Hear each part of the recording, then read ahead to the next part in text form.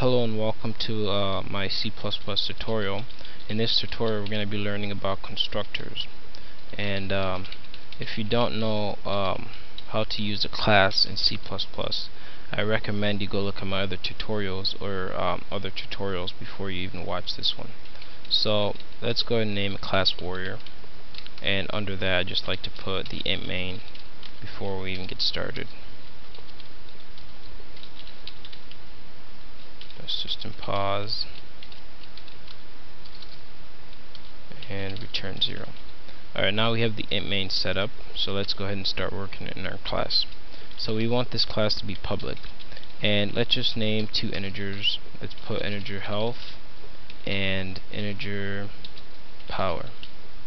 So now that we have that let's go ahead and work in our class warrior.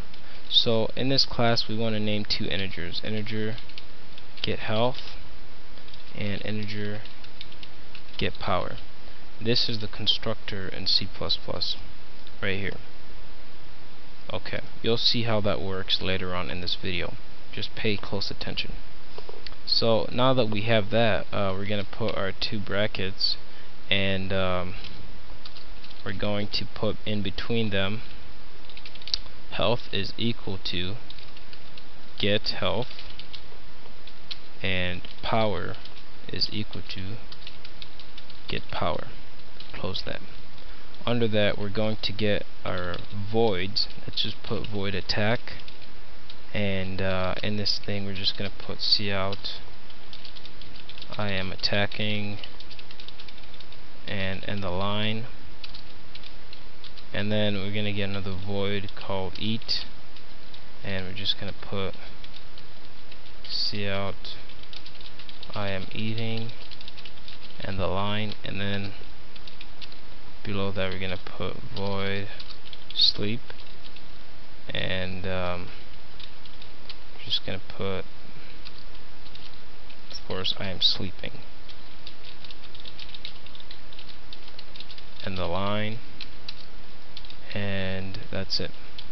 So now that we've made all these codings um, we're going to insert it in the int main. So remember that we declared a class called warrior.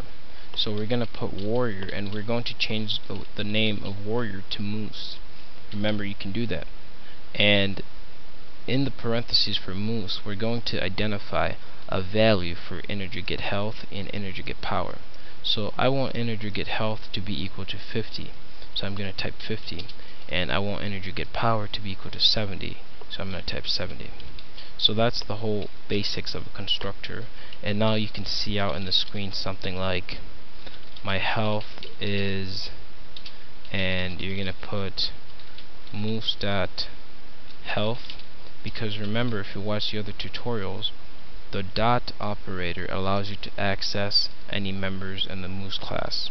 So then we're gonna put and my power is and we're going to put moose.power so we gave him his power. In that case let's go ahead and compile it so far.